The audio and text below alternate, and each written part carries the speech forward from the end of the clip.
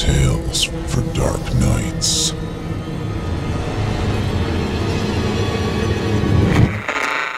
Want to make sure you never miss a Chilling Tales for Dark Nights video again? Be sure to subscribe and hit that bell to turn on notifications.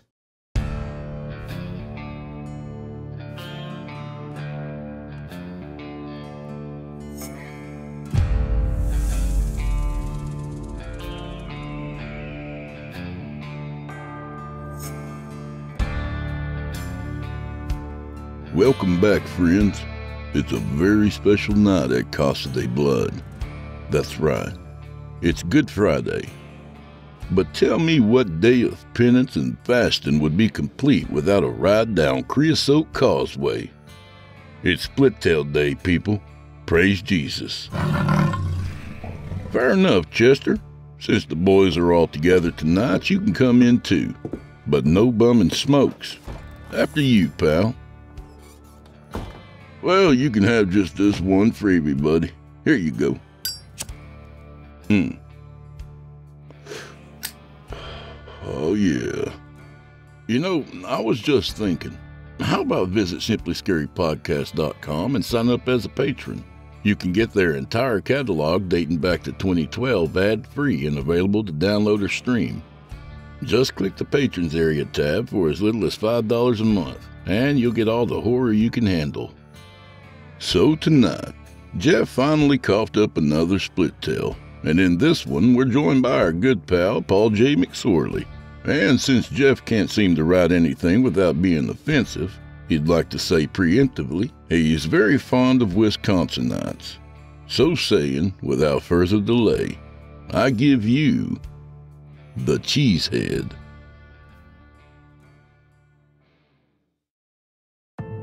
It came like a thief in the night. No, not Jesus. Well, he does too, of course, but that's not what we're talking about. And if he did, I doubt he'd be too thrilled with what he found down here.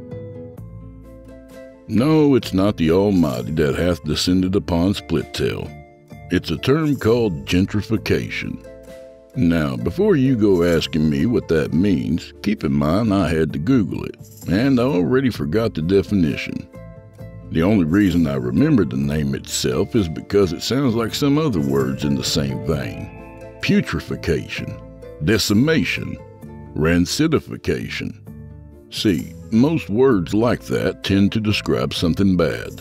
Now, I'm not saying it's all plain bad because that'd be judgmental of me only that the world is clearly going to hell, and just a little faster than I'd prefer. Like we're all carrying a big armoire down a flight of stairs, and everyone's starting to lose their grip on it. Everyone but me and Dingle, anyway. But how are just the two of us supposed to carry such a heavy armoire? Not to mention, I'm not exactly sure what an armoire is, or if that's even the right word for it. Remind me to Google it later. Anyway, along with this plague is something else I can't really define, but I know it when I see it corporate hegemony. I should have seen it coming the minute those places popped up where you can eat tacos and do your laundry at the same time, or shop for a new used car while you're eating a plate of barbecue. Hell, I knew we were in trouble the minute people started talking on the phone outdoors. I've thought long and hard about this mess we're in, and for me, it all started with the tragedy of old Mrs. Rutledge. You've heard of it the poor gal who died in a home shopping accident. Dog chases the cat, Rutledge chases the dog, and we find her two days later wrapped head to toe in her 25 foot coiled phone cord, all blue and purple like a damn snake squeezed her. Two days later, her package showed up a set of embroidered pot holders. Lord knows she died doing what she loved. Still, in the interest of public safety, cords became antennas. Then, before you knew it, there were mechanical toothbrushes, lavender scented hand soap, microwave noodles, you name it. Super Mario, Teletubbies, Dragon Balls, Ninja Turtles. And even in the most pristine sanctum tucked safely away in God's country, no one was truly safe from the influx of culture. People who speak different than you do, think different than you do, people with alien ways and cultures. strange mannerisms, inferior beliefs. There are all sorts of different words for them. Scawnies, cheeseheads, Wisconsinites. In medical terms, people from Wisconsin. God help us. It was a pleasant enough day in Splittail, I'll give it that much. The kind of weather when the wet, ripping farts of summer give way to cool wisps of breeze. And I'm sorry to go there so early, but on this particular day it bears mentioning, because the deputy and I were grabbing lunch at our favorite spot, Splittail Taco and Dry Cleaning. Dingle was tapping away at his fancy cellular telephone, and between bites, I was just sitting there trying to reconcile myself to the fall of civilization. Hey, Sheriff, look at this one. Dingle turned his phone toward me, displaying an image of myself with bunny ears and a little pink nose. Well, goddamn, I said, and when I did, two little bunny teeth popped out of my mouth. Not my real mouth, but the one on the phone there. Look at this one, Sheriff. He hit another button on the screen, and my face scrunched up and my mustache disappeared. I turned away in disgust. What's the matter, Sheriff? You ever feel like the goddamn world is burning down around you, Dingle, and that you're the only damn one who seems to notice? Oh, all the time, Sheriff. Hey, you know, if you install this app too, we can send each other funny pictures all day. We sit next to each other all day, bonehead. A contemplative pause indeed. Well, I I guess you're right, Sheriff. Aren't I always? And then, right in time for the inciting incident, my radio popped up. Unit 1, do you copy? Well, what the hell is it, Frankie? It's taco time over here. We've received a report of a foul odor coming from somewhere near the old bank building by the square. A foul odor, you say? Right across from Laundry's place? I tell you, Frankie, it's a mystery wrapped in an enigma. It was Laundry who called in, Sheriff. Says he thinks there's a dead body somewhere. Well, goddamn, I said. If there's one skill I've honed in all my years of law enforcement, it has to be deductive reasoning. So saying, if it stunk that bad to laundry, it had to be worse than goat shit. But still. Well, now, Frankie, between the two of us, here's my dilemma. See, as far as what laundry is smelling, it may just be his upper lip. But say it isn't. Once a dead fella starts to stink, about all he can do is go on stinking. A taco, on the other hand, I've seen the crunchiest ones you can imagine go soft in 15 minutes flat, and that's just a damn tragedy, ain't it? Silence. Copy that, Unit 1. I just work here. Hey, look at this one, Sheriff. Dingle showed me his phone again, and this time I looked like an old man. Kinda profound, this one struck me. Because when it came down to it, this job of mine could take the crunch out of anyone's proverbial taco. And looking at Dingle's soft tacos there, I was only glad I had some firmness to begin with. Stow it, Dingle. We've got work to do. What did Frankie want, Sheriff? I wasn't paying attention. Says we got a funny odor coming from around Laundry's place. Sure it's not his upper lip again? If it is, I might fatten it up for him. May send him a bill for lunch, too. To that end, I stowed my receipt safely in my pocket and we headed out to the car. I made a point of blaring the siren all the way out to our dire emergency and parked politely on top of Laundry's garbage cans.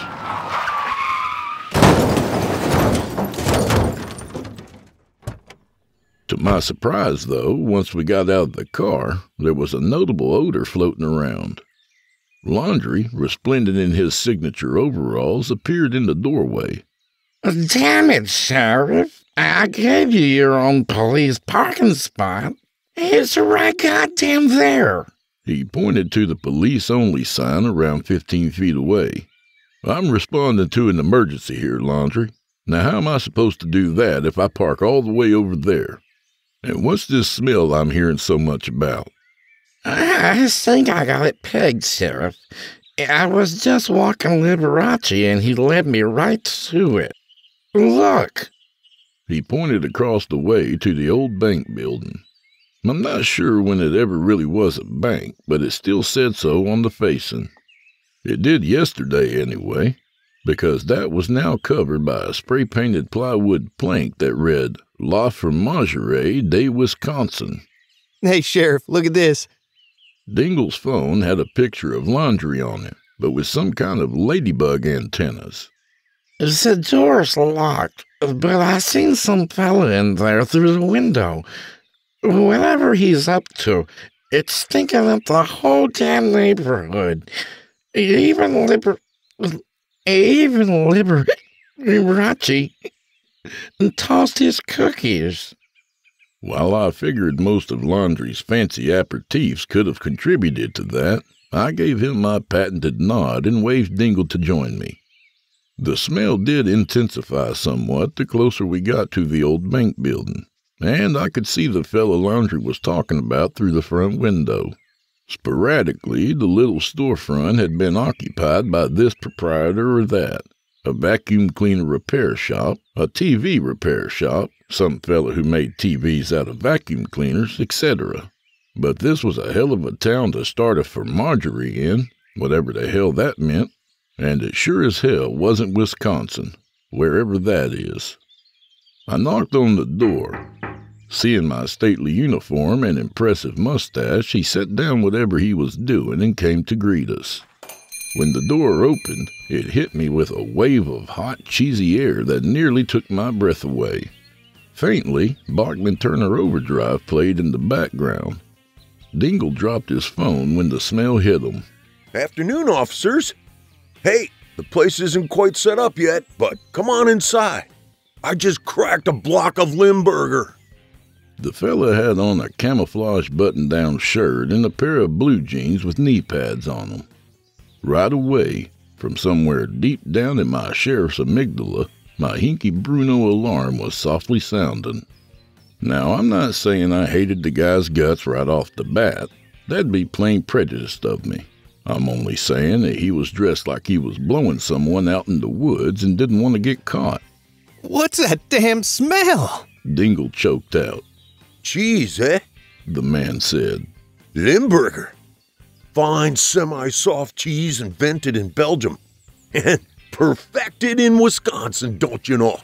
And you'd be glad to know Splittail's about to get taste of the finer things in life, yeah, hey. I took a peek over the man's shoulder there and saw the big wheels of cheese he was cutting up. The smell coming out of the place was somewhere between dirty gym socks and a moldering roadkill. I'm Paul, by the way. Just flew in from Wisconsin. and boy, are my arms tired. Uh, well, Mr. Limburger, I'm sorry to hear about your arms there, but I gotta tell you, if those are your finest selections I'm smelling, I'd hate like hell to smell your less finer selections. The man's smile wavered a little bit, but he managed to hold on to his pleasant Midwesternness for the moment. Oh, that's how you know it's good cheese, don't you know? It's normally aged one to three months, but here at La Fromagerie de Wisconsin, I age it at least half a year. It gets that real earthy aroma, huh? Come on in and have taste. We can eat some cheese and have a beer. I don't give a fuck. I heard Laundry shout from across the way. He made my damn goat throw up. Sheriff? I'm not going in there, Sheriff. I've smelled cheese before. That ain't cheese. I don't know what that is, but that ain't it. Dingle looked like a grazing deer who had just caught a whiff of aqua velva. The cheese fella stood there holding the door open like a fancy fragrance consultant. Well, Mr. Cheese Fella, I'm not exactly sure how to approach this one. You say you're selling cheese, but Laundry over there says you made his goat throw up. And Dingle here, and there's no finer a judge of fancy comestibles, he says he smelled cheese before, and yours doesn't appear to tickle his fancy. So I don't know. Maybe you should consider just packing back up and flying back to Wisconsin. If your arms still have it in 'em, that is. So much for friendly advice. Mr. Cheesefella promptly underwent a kind of transformation right in front of me. His eyes widened real big so you could see the whites all around them, and his nostrils even flared a little, and God help me, his left ear started shaking, almost vibrating, like he was trying to shoo away a horsefly. Hey, fuck you, moose fucker. This is the best fucking cheese there is. And you moose fuckers are gonna eat it too. Cripes! I'll fuck both you moose fuckers, yeah? Well, hold on there just a second, cheese fella, I said. And I'm not saying I didn't catch that last sentence of his. It only seemed like some kind of anger fragmented shard of a comment. More concerning was the sudden shift in temperament, and I could see his fingers working down there, like they were fixing to turn into fists. Meanwhile, the deputy looked like a kid with a spoonful of medicine in his face. Time for diplomacy. All I'm suggesting is this town in particular might not be the most adventurous eaters of cheese. I mean, look at poor Dingle here. He looks like he's seen a ghost. I don't understand, Sheriff. It it smells like it reminds me of Well, geez, Sheriff, it's it's something bad. Hey, fuck you then, Dingle, you moose fucker. It's called a gourmet entertaining cheese, and you better get used to it too, don't you know? Cause I'm taking over this moose fucking town. You want cheese? It's coming through me, eh? Laundry leaned his head out the bar's door. Liberace is acting funny. Sheriff, I think he might barf again.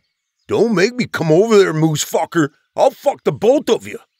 Go ahead and shoot him if you need to, Sheriff. I ain't looking. The cheese fella regarded me then as if I'd do just that. You gonna shoot me, moose fucker? Well, you'd better have some pretty nice bullets, eh? Because last time someone tried that, I peeled his face off and got some beers. I'll get beers right now, moose fucker. I don't give a fuck. Now hold on just one minute, fella. No one's getting shot today. All I was suggesting was that there's not such a big market around here for your particular brand of. Try it, moose fucker. I know that kung fu shit too, eh? I'll fuck your ass and go get beers. Try me, fucker. With this, he assumed a kind of karate stance I had no real answer to. The deputy likewise had no answer to anything. Something about the Limburger had left him shell shocked, and I hate to admit what I'm about to tell you, but since it's just the two of us, I'm nothing if not honest. Here goes. The shell of my own proverbial taco was taking on moisture. That's to say, the crunch had gone out of me, and I was about to lose my lettuce. You know, if there's one thing I'd learned in all my years of law enforcement, it's this. You should never underestimate your opponents, especially on a half empty stomach. That said, I did the unthinkable. I backed off, glad as ever Mr. Cheesefella couldn't see the shame behind my fancy mirrored sunglasses. Well, you can't win them all, I suppose. That's what I told Dingle as we drove back to the taco place to top off the tank. But Dingle, fairly traumatized as he was, decided to knock off early instead. And if you think that sounds ridiculous on the surface, I'd have to agree with you. Trouble was, he purportedly figured out what that stench reminded him of and got real quiet all of a sudden, and the life kinda drained from his eyes, and then he started clawing at his nipples and whimpering, and all that seemed a little undignified, you understand. Frankly, I'd never seen anything like it. So alone I sat in my favorite spot, parked under a shady little copse of trees by the foot of the hills. It's funny how even while civilization itself is in a state of self-immolation, while the stars are conspiring to tip over and plummet to earth, while the angels are aspirating the spit valves on their terrible trumpets, some places still seem fine and dandy. This was one of those places. No sound but the birds and the breeze rustling through the trees the scent of pine and earth, and whatever woodsy concoctions Wally and Ignatius were fermenting just up the path. Everything looked just ducky from where I was sitting. I peeked up at my photo of old Summer there, the proverbial one that got away. Traded all this natural beauty for a chance to make it up in the big city. And by all this natural beauty, of course, I mean more than the pristine wilderness. To that end, I examined my impeccable mustache in the rearview mirror and sighed. She'd come back to me one day, I told myself. Until then, the photo stayed pinned to my visor. Just as I knew they eventually would, my two pals Wally and Ignatius emerged from the edge of the woods to investigate. As always, with that little pause once they caught sight of my cruiser, but I waved them over just to let them know I was agreeable today. Hey, Sheriff, how goes it? You ain't here to open up the gates of tyranny on us again, are you? Let me ask you something, Wally. Just where is the line between allowing total freedom and doing what you just described? Say, when someone's starting to stink up the town. Pussy farts? I don't think he's talking about us, Iggy. We only stink up the woods. You're talking about that cheesehead set up shop in the town, ain't you? God help us. It smells worse than Iggy's feet. J- Janaho! I nodded. Smell travels fast, it seemed. As long as no one knew, he had basically shouted me down and sent me limping back to my cruiser, dragging Dingle by the collar. I can't say I've ever been called a moose fucker before. They don't prepare you for that stuff in sheriff school. Of course, some things a man doesn't have to be taught, namely when a man's pride is injured. There's no rubbing a little dirt on it and walking it off. Not a man in my position. You know, Wally, if there's one thing I've learned in all my years of law enforcement, it's this. You can never be too proud to ask for advice. And being it's just the three of us here, and we all seem to be smelling the same issue, and especially since there's no one around to hear me doing it, I'm prepared to do just that. So where's my role in all this, Mr. Constitutionalist? How does a fellow like me do what I gotta do without offending any delicate sensibilities? Wally kind of pursed his lips and fell deep into thought. You could tell when he was deep in thought by the way his eyeballs drifted apart. More than usual, I mean. Well, Sheriff, you could try a little trick they call power of the pen. Eh, you pussy hole! Ignatius agreed. And how's that one work exactly? Easy. You write up a fancy decree that makes something illegal. Well, not not technically illegal, but kind of against the rules, see? It's something that makes it tough for the fella to do business, right? Pussy! Yeah, right. It, it can't be too obvious. It's got to make some kind of sense. Wait, I, I think I've got a pretty good idea. And that's when he laid it on me. And I'll tell you, for a man who does his morning constitutional over a Home Depot bucket, he sure knows his stuff. And that very night, I sat down at my fancy computer with a stack of cheese safety literature and a snifter of my finest orange Fanta. Then, for the first time ever, I opened Microsoft Notepad. It felt kind of romantic in a way, and I wondered for a moment if I had chosen the right path through life after all. I imagined my life transposed with the life of a novelist. Me, of all people, not all buttoned up in sheriff's vestments, but draped in loose fitting cotton clothing, maybe a turtleneck sweater. Naturally, I'd find myself in a more metropolitan locale, maybe Schenectady or thereabouts. I'd trade my polished leather boots for suede loafers. I'd switch my Hai Karate cologne for English leather.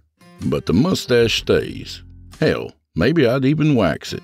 I always wanted to see the inside of a haberdashery. And I wondered what old Summer Sausage would think of me then when she saw me sitting in the corner of some highfalutin espresso place, tapping away at my brand new portable computer with the Apple on it, with that intense look on my face like I'm channeling my own little muse. Here and there, some adoring fan would walk up and praise me for my work, and I'd be polite, of course, but kinda curt and dismissive, too. Ronald Ball, toast of Schenectady. What would Miss Summer Sausage think of me then? After realizing I'd been daydreaming for an hour and a half, I settled on the task at hand. The idea was to make Mr. Cheesefellas doing business here more trouble than it was worth, and to do so without being too blatant about it. What followed was a feat of reverse engineering, and by the time my official decree was ready to be printed down at the station, I was feeling pretty goddamn executive. And all I could think of after that was, I wonder what the hell is wrong with Dingle. The big day had arrived, and by the way Dingle was acting, you'd hardly know it. That's to say, the deputy wasn't exactly tearing up the pea patch. He just kind of sat there with this thousand yard stare on his face, same one he had had since the Limburger hit him. I nearly asked him about it too, but I wasn't sure I wanted the answer. Not on the day of my first executive action as High Sheriff, because if there's one thing I've learned in all these years as High Sheriff, it's this. Dingle's out to lunch, and a biscuit or two short at that. Thank God for yours truly, is all I'm saying. I pulled up to the cheese shop in my customary manner and extracted a copy of my snazzy legal document to serve our new pal. Come on, Dingle, you don't want to miss this. I'm about to get all Ron Ball Esquire on Mr. Cheesefella. I don't really want to go in there, Sheriff. I appraised the deputy for a moment, gave him that stern mustache look of mine. What's gotten into you, deputy? I'm not sure I can talk about it, Sheriff. Not yet. I'm not ready. Well, good news, Dingle. I don't need you to talk about it. What I need is to be accompanied by my executive personnel, and that's you, deputy. So get with it. It's the smell, Sheriff. It really gets to me. Well, goddamn, I said. But pretty soon I had myself an idea. I do get those from time to time. I pushed open the door to the great waves of cheesy stench. Bachman Turner Overdrive popped through the place on an upgraded sound system. Mr. Cheesefella looked up from his new display of glass bottles, and I was relieved to see his eyes looked normal and his ear was no longer shaking. The bottles sat arranged on a couple of folding tables, bibbed by signs that read Cheesehead Craft Brews, Drinking Style, Splittail's Finest Imbibements. There were other signs here and there suggesting the perfect pairings between this cheese and that beer. And now that I noticed it, a little coffee set up in creation off to the left side of the room. Well, morning there, Mr. Cheese Cheesefella. I was just in the area this morning and I thought to myself, you know, I think the two of us might have gotten off on the wrong foot yesterday. So I thought the deputy and I might pop back in and start afresh. He nodded amiably. Well, sure. Maybe I got a little heated there. Water under the bridge. So, how are you guys doing? How about a beer? On the house. He was looking a little oddly at the deputy with the clothespin on his nose, the one I normally use to clip my expired fishing license and photo of summer sausage to the visor. But hell, these days that could just as easily be a fashion trend. Well, I tell you, that's just as tempting as tempting can be. Ain't that right, deputy? Uh, sure, Sheriff. And Lord knows this here bottle of Asiago garlic porter looks real refreshing. But the deputy and I are on official business, you understand. How about just one, eh? I've got all sorts of fancy brews, don't you know? How about a Paul's Imperial Reuben, huh? It's brewed with pastrami and cabbage and aged in Thousand Island dressing barrels. Uh, I just had one at breakfast, but we were only popping in to. Got a sweet hams contract too, don't you know? Two dollar draft, but just a buck for you guys, huh? Well, goddamn, I said, because Laundry's Genesee drafts were more than that, even after my police discount. But back to the matter at hand. Much appreciated, Mr. Cheesefella. But while we're discussing business matters, I'd be remiss not to inform you of our county's recent piece of legislation. And I presented him rather lawyerly with my document, in which I'd laid out Splittail's new mandate that all cheeses must be pasteurized and facilities third party tested in the interest of public safety. And this I explained out loud as he read along, with the whites steadily growing around his eyes. And his nostrils started to flare again. And there goes his ear, shaking all by itself, like someone caught it with a fish hook and was trying to shake it loose. Who put you two moose fuckers up to this, eh? The moose fucker next door?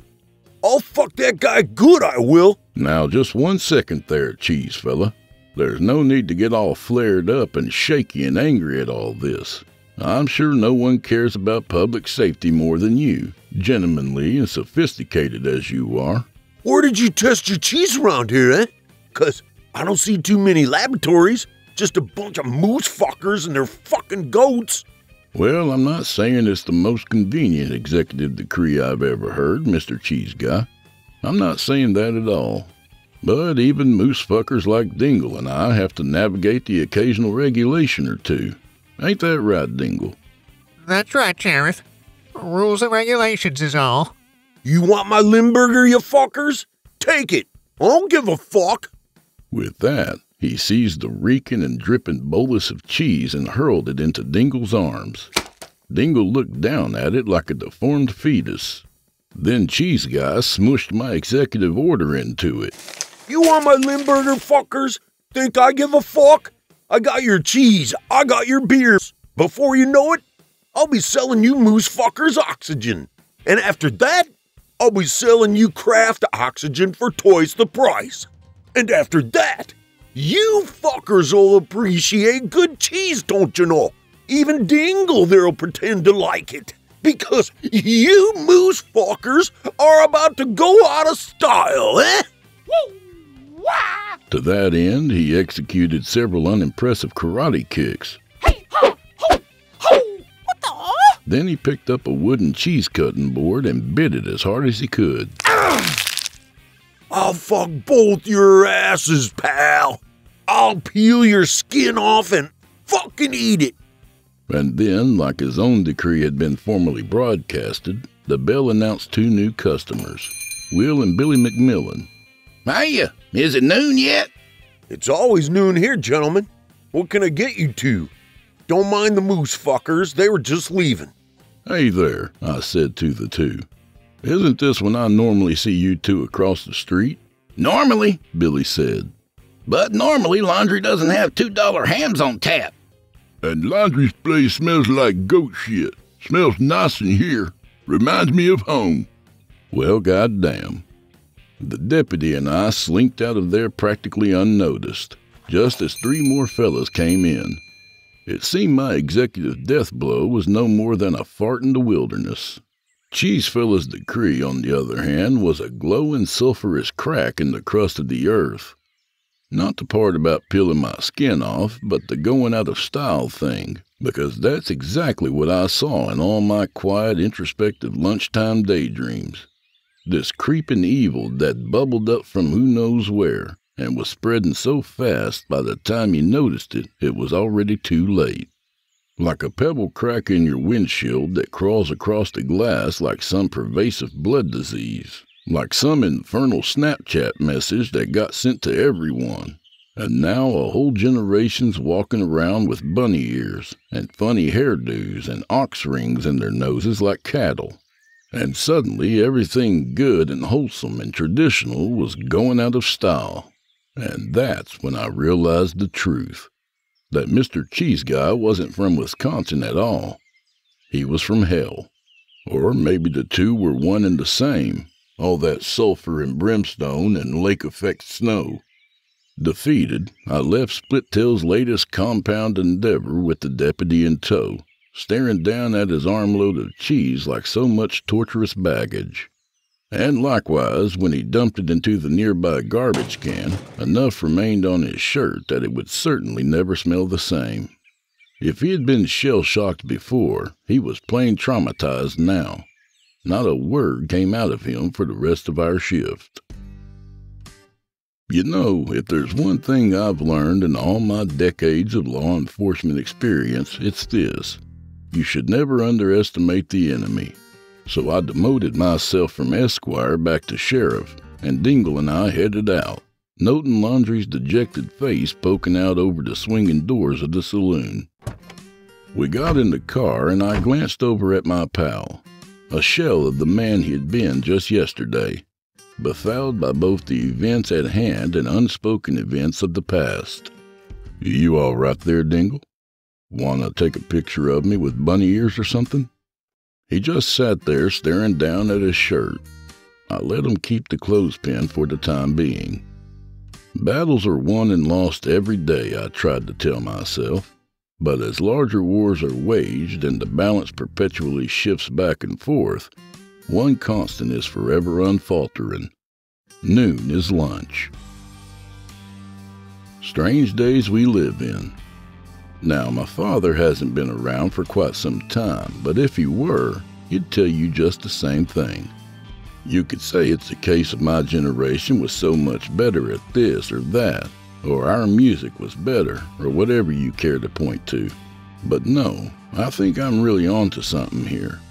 I think dark forces have breached the barrier between their world and ours. I'm not talking about nose rings or auto tune or low carb tortillas, nothing like that. I'm talking real life evil. And when the rubber meets the road, it seems to me there'll only be two guardians at the gate. I guess you already know who they are, and you'd better hope we stand firm too, because the minute we falter, you'll all be wearing nose rings and even your farts will come out auto tuned. And my father, God bless him, he'll be glad to have gotten out when he did. Strange days indeed. When here in the greatest country on earth, our most notable scholars are forced to live in makeshift yurts in the wilderness. Big tents patched with old car covers and Britney Spears concert shirts, made to defecate in paint cans and spackle buckets, and live on baked beans and canned ravioli, forced to do business under the cover of darkness for fear of reprisal. Well, they wouldn't get any of that from me, not unless they decided to charge me a consultant fee or something. Sheriff, deputy, how goes the subterfuge? Hard to say, Wally. I legislated the prick out of the Limburger business, but now he's selling $2 drafts to the lunch crowd. Two dollars? Drafts of what? Hamm's. Well, son of a bitch.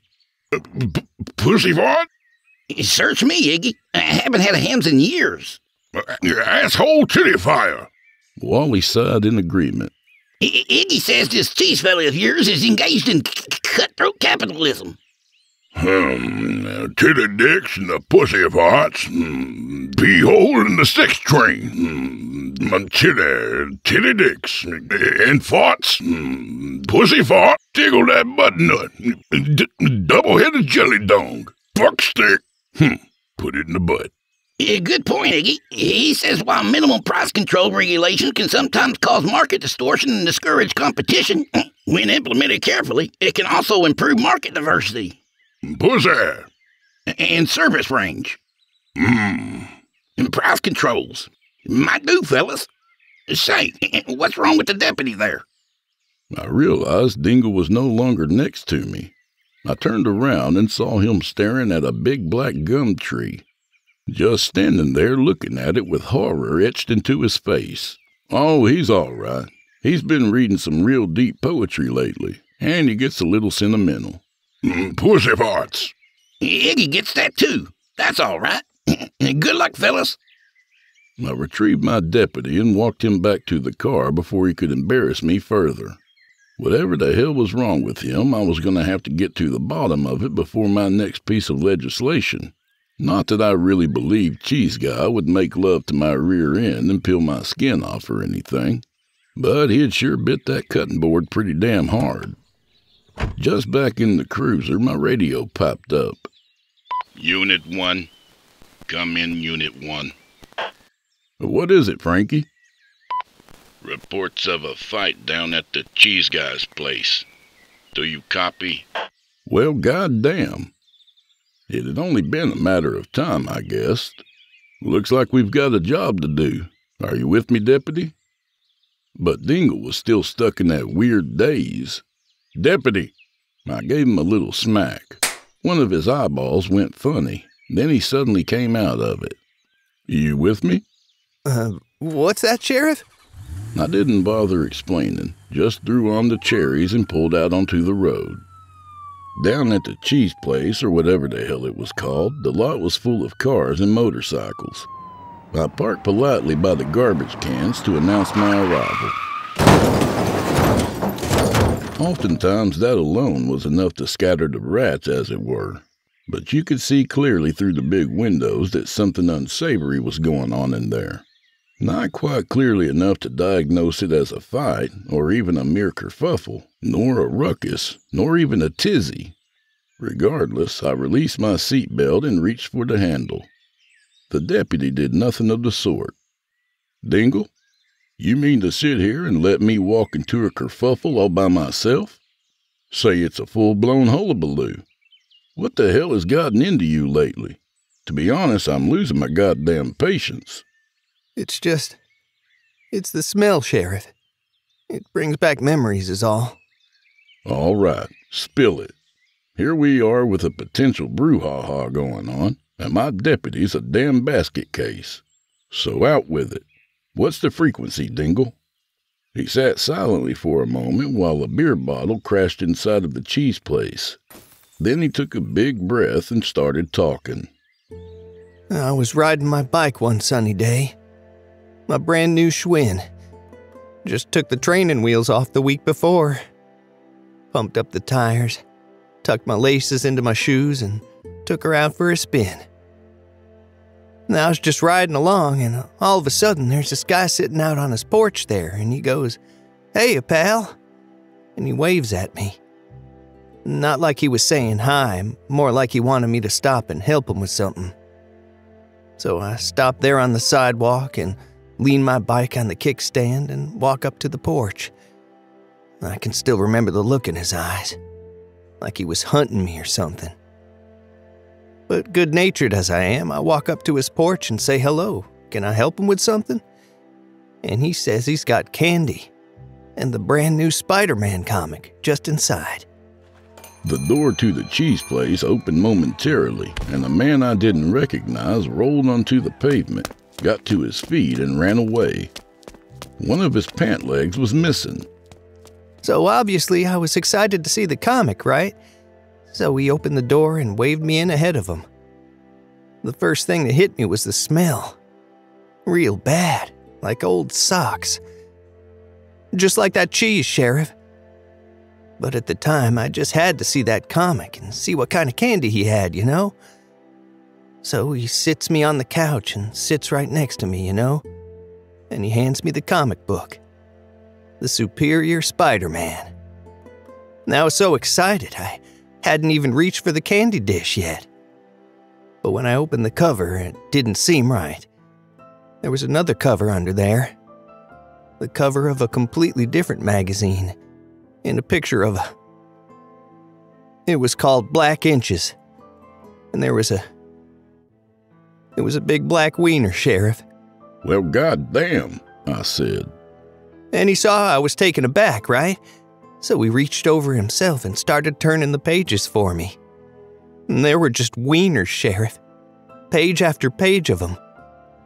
Then I glanced over and he, he had his own wiener out, Sheriff just wieners.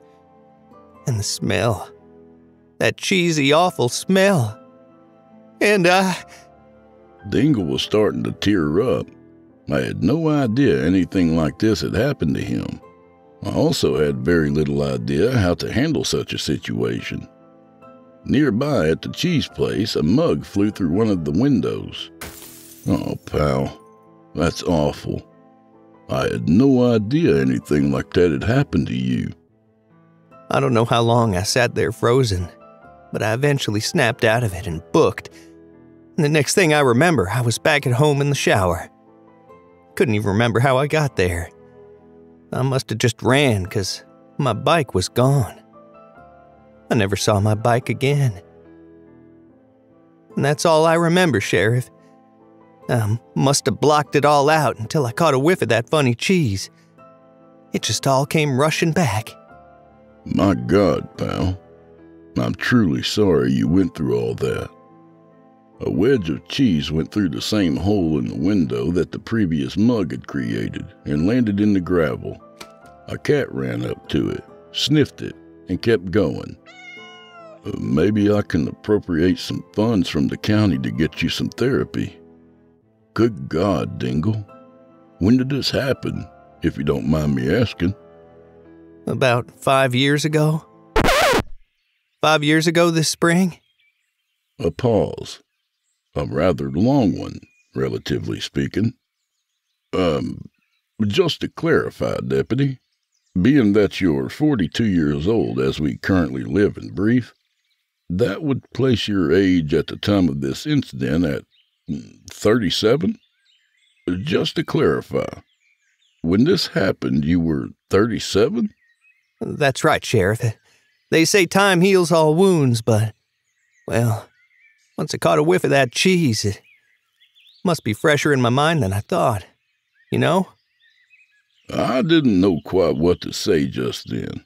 But if there's one thing I've learned in all my years of law enforcement, it has to be this. I don't even fucking know anymore. Sometime thereabout, Liberace came busting through the door and ran back across the street toward Laundry's place. Now I had a pretty good idea who was causing that kerfuffle. Dingle? Not to be insensitive about your Black Inches incident, but I think we ought to get moving. The deputy gave me a look of somewhat renewed resolve. You know what, Sheriff?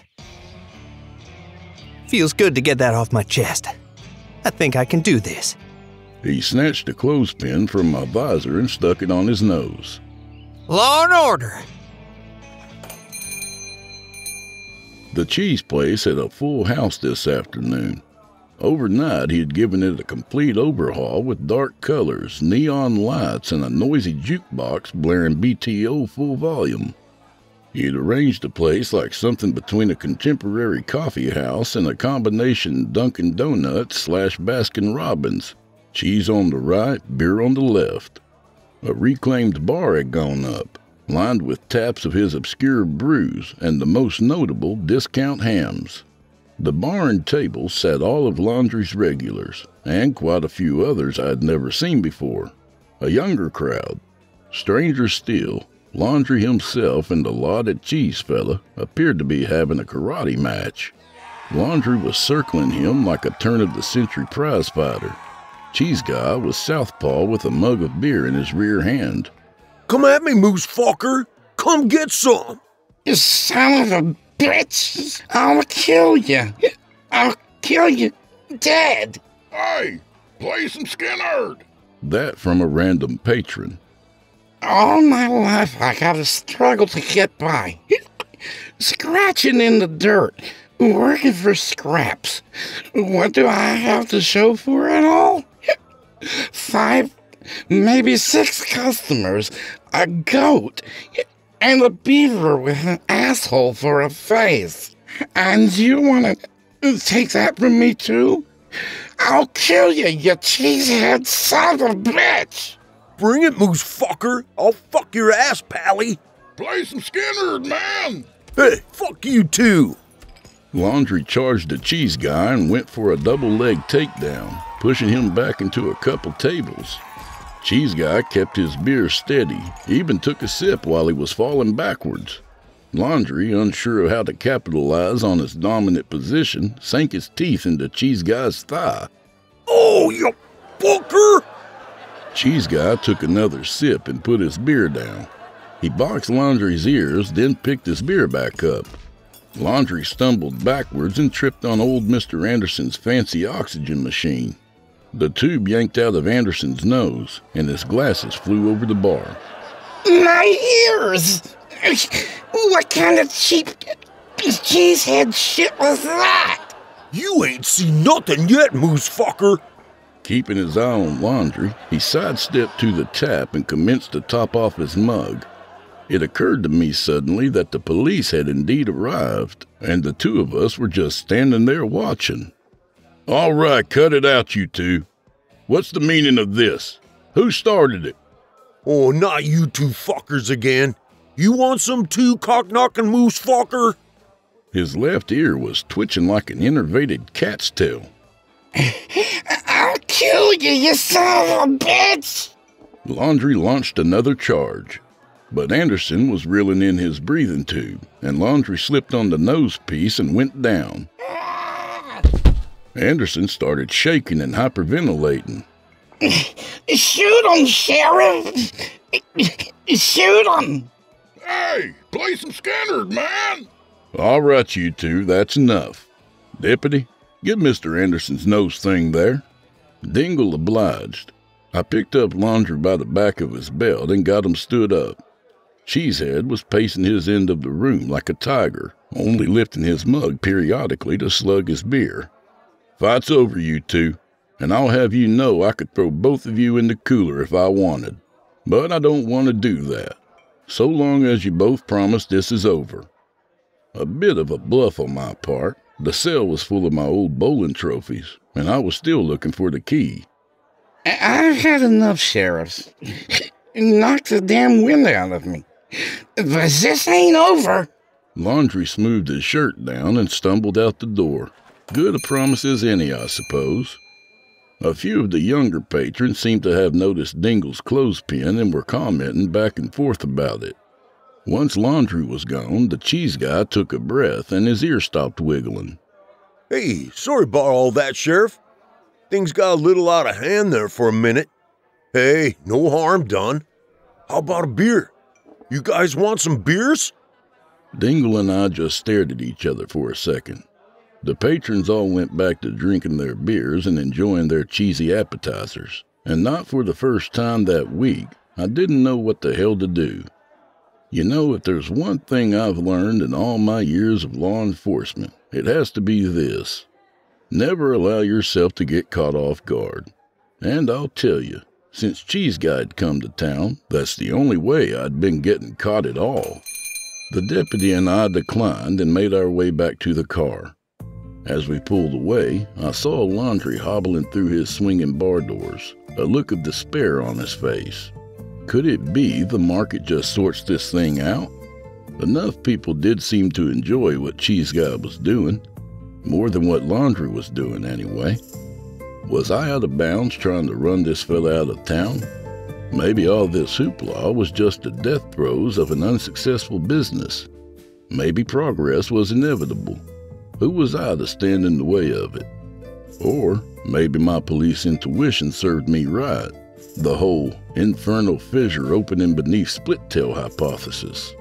Who was I not to stand in the way of it? The High Sheriff himself in all his prestige and glory. If I couldn't keep my grip on this big armoire, then who the hell could? No, Laundry was right. This wasn't over. This wasn't over one bit. You can take the clothespin off there, Deputy. Oh, right.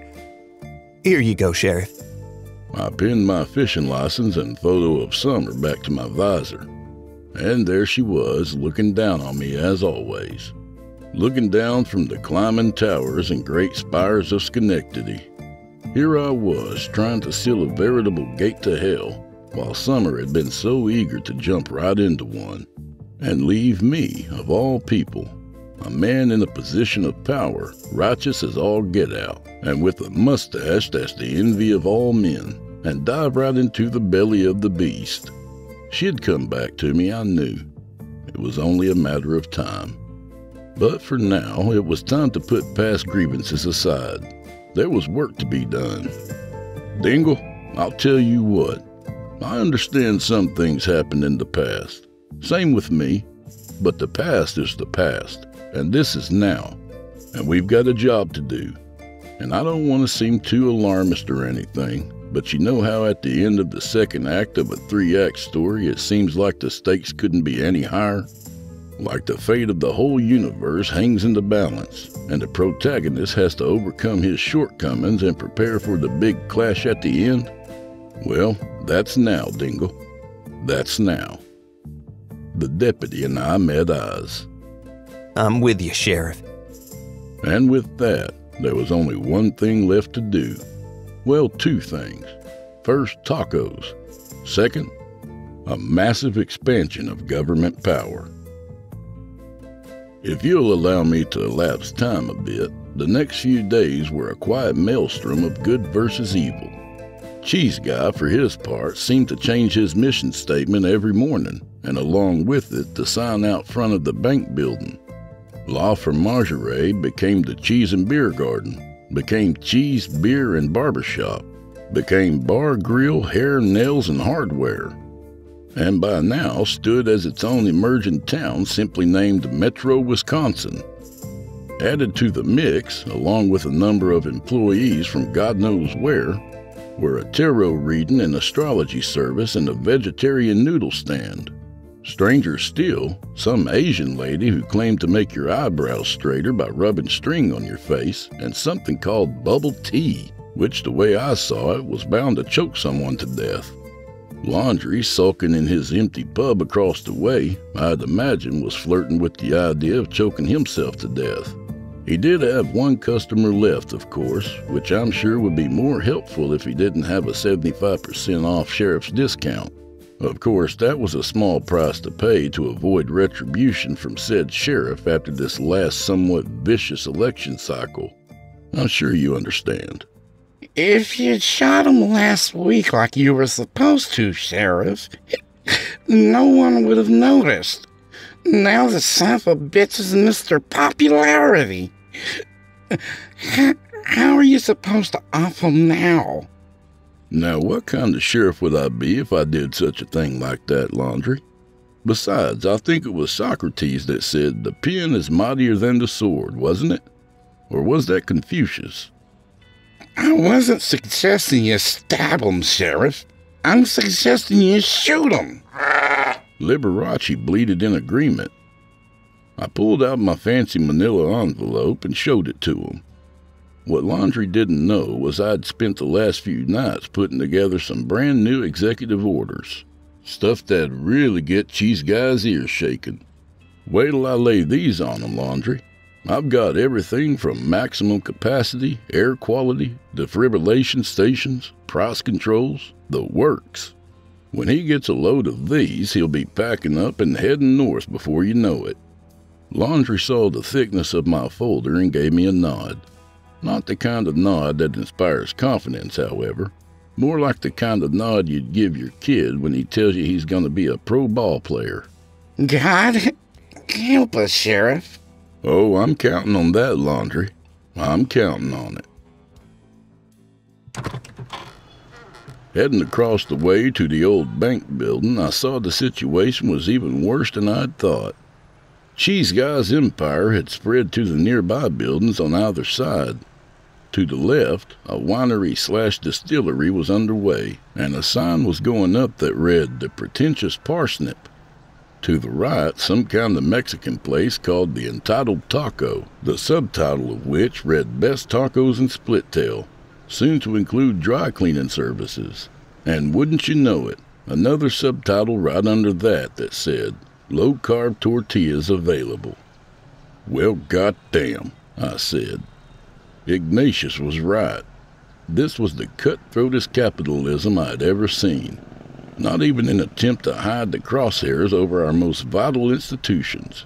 A blatant bullseye on my own favorite lunch spot, a rich history soon to be replaced, ousted by the very interlopers mulling about the square right now, purple haired and pocked with strange piercings, squat and fat, or oddly skinny and spider like, clothing not unlike the makeshift tents of Wally's camp. And where the hell had they all come from? From straight out of the fissure itself? What the hell happened to Splittail, Dingle? Right under our noses. What the hell have we allowed to. But what I saw next stopped me dead in my tracks. As if this whole scene didn't get me flustered enough, my eyes landed on a full figured gal in a sundress, standing near the burgeoning taco joint. Not that it's so unusual to see a full figured gal near a taco joint, but there was something else about her. Something about the way she stood, with the gentle breeze rustling her hair and the bottom of her dress. It couldn't be, could it? I made my way over there, suddenly unconcerned with everything else. She was holding one of those bubble tea things, reading a menu taped to the window. Halfway there, I thought I could even smell her perfume. It could have been my imagination, I realized. All of this could. I only realized how fast I was walking when I heard Dingle's footfalls trying to keep up. Still, it felt like the longest journey I had ever made. I stopped maybe five feet behind the woman, wondered about the most polite way to get her attention. But she must have sensed me there herself because it wasn't a second or two before she looked over her shoulder, then turned around to face me. Summer, you're back. Ron, I knew you'd show up. She threw her arms around me, and we embraced. Everything I remembered about her the smell of her hair, the feeling of her against me. It hit me like the all encompassing heat of a warm bath. In that moment, it was just the two of us. Everything past, present, and future all at once, right in that moment. But a moment was all it was. Not the extended, swirling embrace I had always pictured in my private moments. Not that at all.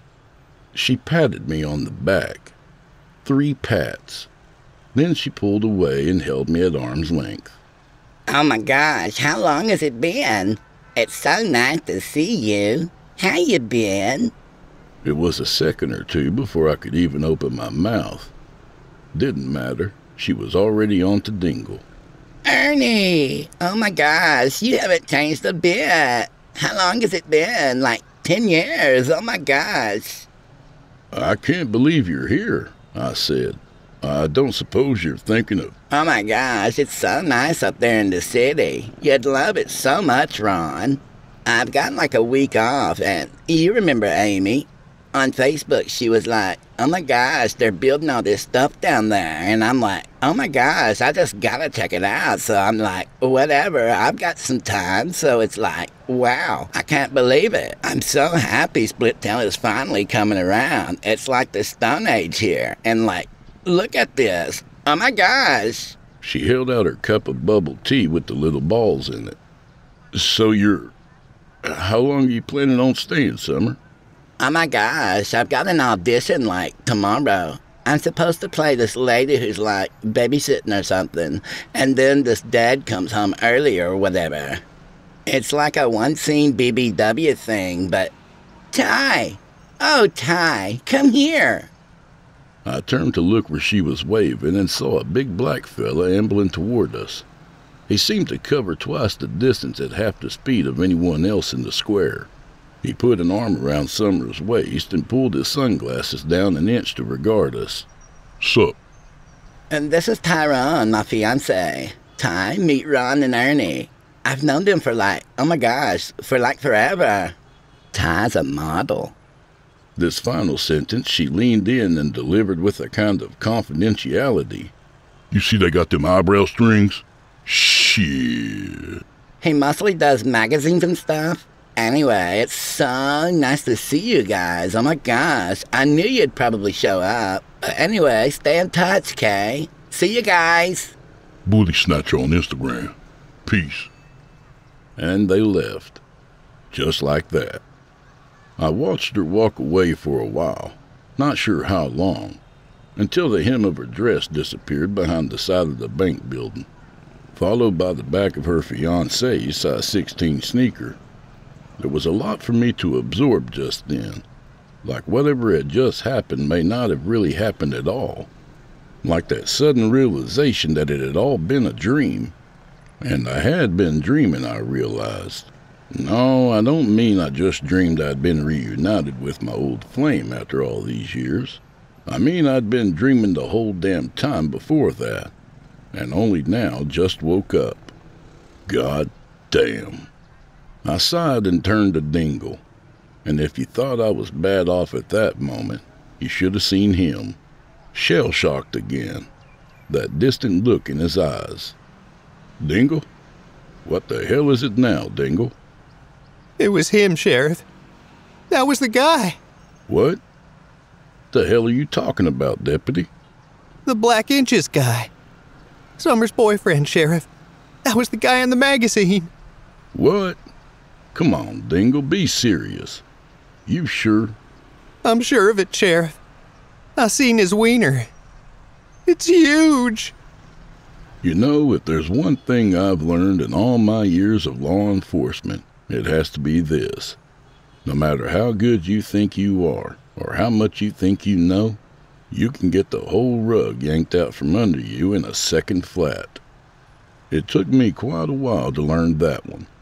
It only occurred to me in the last minute or so. What I hadn't learned yet was what I was supposed to do now.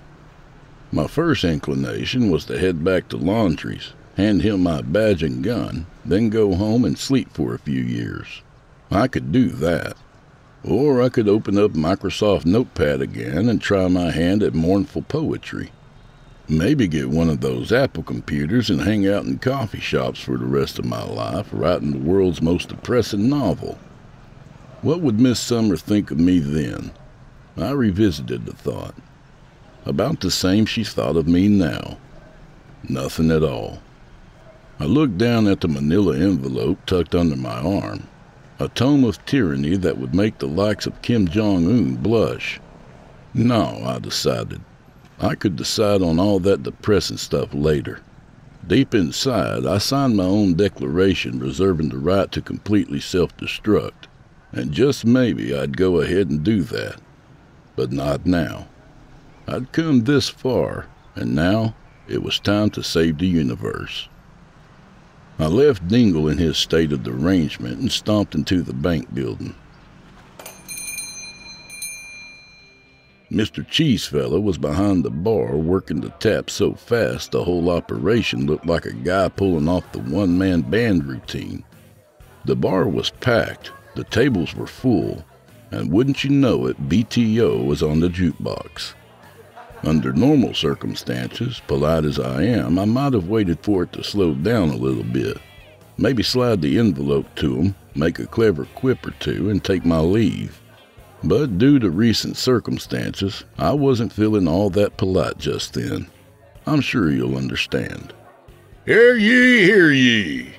Let it be known to all present and to posterity that we, the citizens of Splittail, do hereby proclaim that this establishment sucks. Also, we proclaim with great solemnity that we have weighed and measured the products and services herein and find them wanting. Also, the proprietor of this substandard establishment worships the devil and has a funny accent.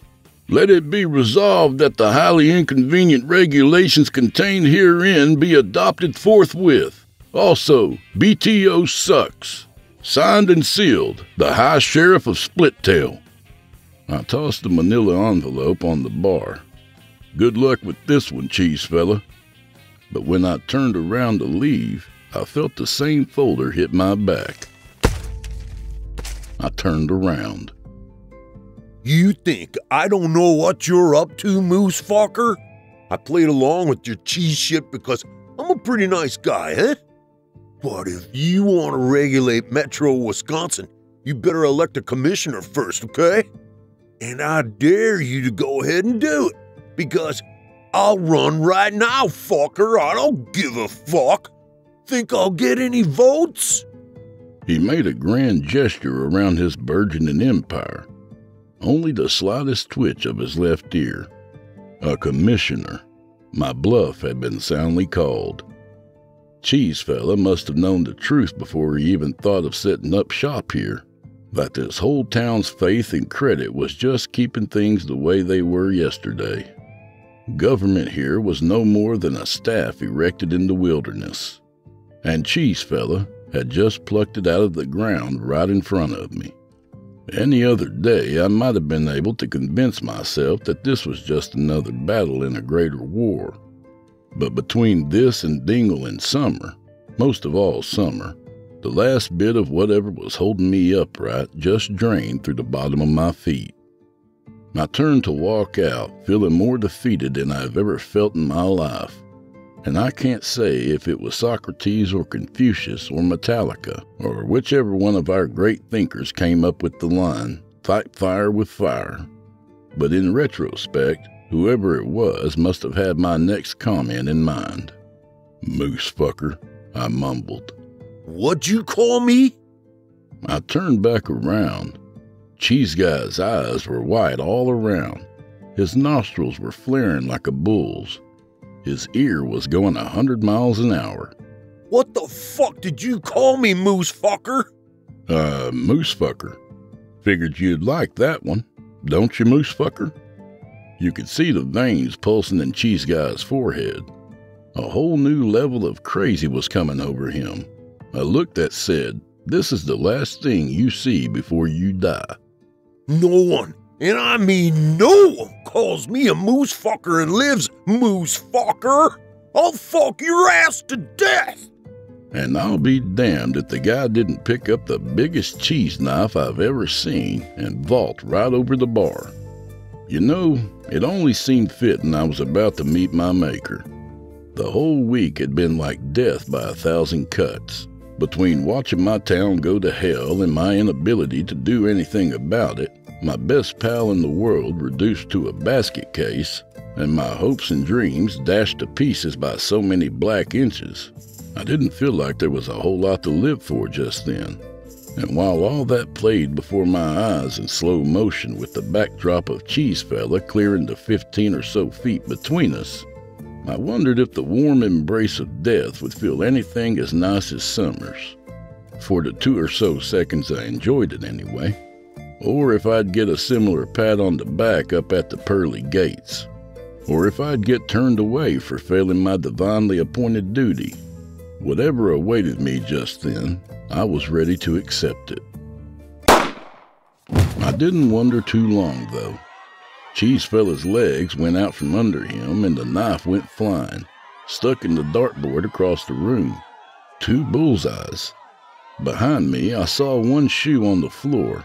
A little ways behind that, I saw Dingle on his ass, wearing the other shoe. A ways behind that, the bedazzled Smith & Wesson 500 Yolanda had bought him. He was coming right at you, Sheriff. Dingle, you're back. Yeah, uh, sorry about all that, Sheriff. Wieners, you know. Law and order. Talk about rat scattering. A shot from a 50 cal is quite the pest repellent. The bank building cleared out before you could say Bachman Turner Overdrive. Most, I suspected, were headed back to Cooter County or wherever the hell they came from.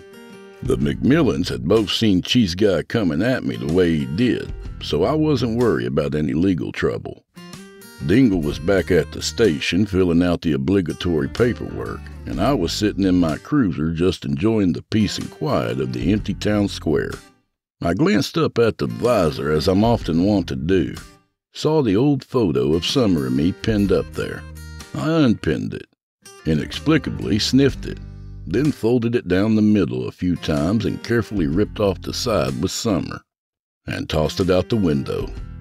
My side I pinned back on the visor, and I kept my expired fishing license too, symbolically if for any reason, because some things just need to be tossed aside, and although other things may be out of date, they're still worth holding on to. And if you're the type who needs a moral message in your stories, I suppose that's probably the best I can do for you, at least this time around. And adapting to the times? Well, maybe just a little. Only when it helps you leave those less savory bits of the past behind. So saying, I took a picture of myself making duck lips and used that funny program Dingle likes to put bunny ears on me and texted it to him, just to let him know everything was a-okay. A minute later, he sent me back a picture of him with sunglasses and a big mustache just like mine. And I must say, the look suited him. The magnificent bastard saved my life today. It was only right I made one more stop before quitting time. It was one of those rare perfect weather days in Splittail. Nice enough to remind you that maybe all was well in the world after all, or at least the fissure underneath the town had stopped pulsating for the time being. And with all that newfound quiet, for the very first time all week, I knew exactly what to do next. You see, being high sheriff of this town as long as I have, you get a sixth sense about certain people's peculiarities. So it wasn't long before I parked politely in front of the duplex in Old Mill Street. I walked up the rickety old porch and pushed aside all the old boxes of newspapers and comic books in my way. I knocked a few times, and before long, the disheveled inhabitant came through the door. The smell coming from inside was just like I thought it'd be. Um, Can I help you, officer? Afternoon, Mr. Black Wiener fella. I'm investigating the disappearance of a certain bicycle. A Schwinn, I believe it was. And I do believe you know exactly where I can find it.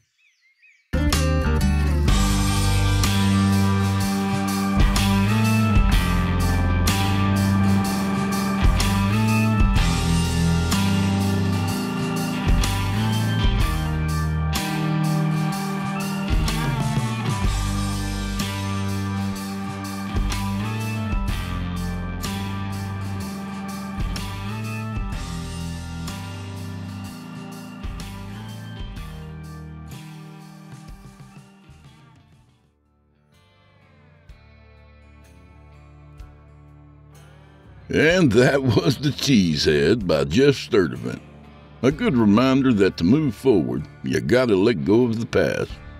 Speaking of which, Hamm's is the new king of beers. A little about the author.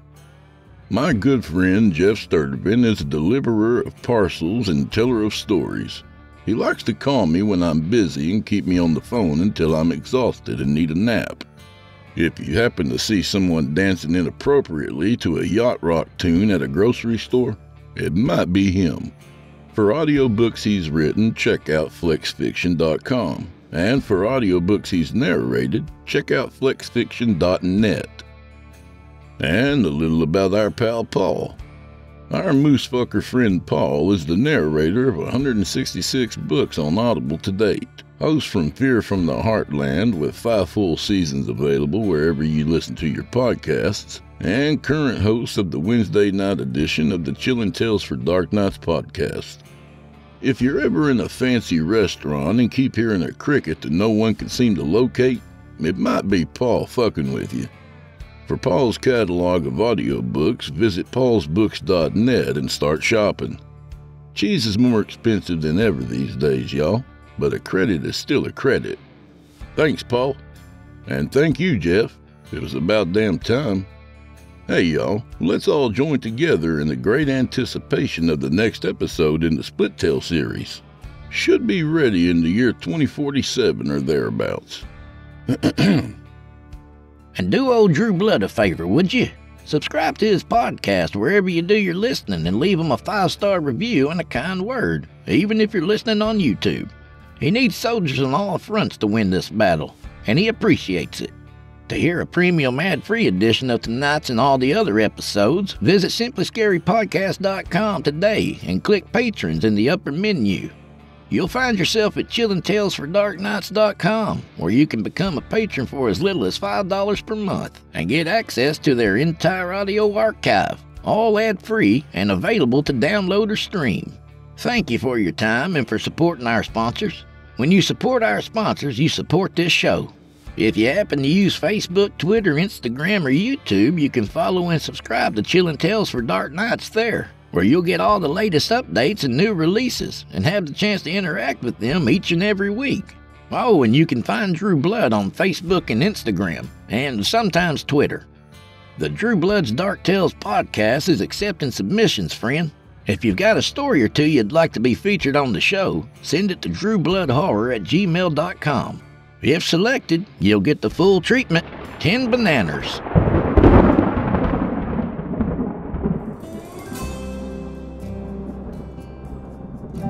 Well, I'm afraid this is where we part ways, at least till next week.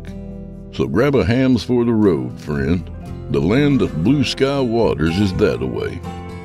I want to go ahead and say hello and give a big thank you and welcome to the newest members of my Patreon. So a big shout out to Lisa Knight, Dana Kolhoff, Elizabeth Balick, and Old Crumbs. Y'all support of me means a lot to me and Old Chester. It really does. Thank y'all so very much. Patreon.com forward slash Drew Blood. And may the wind be at your backs and may the road rise up to meet you. And until next time, go fuck yourselves. Pretty creative, huh? Good night, y'all.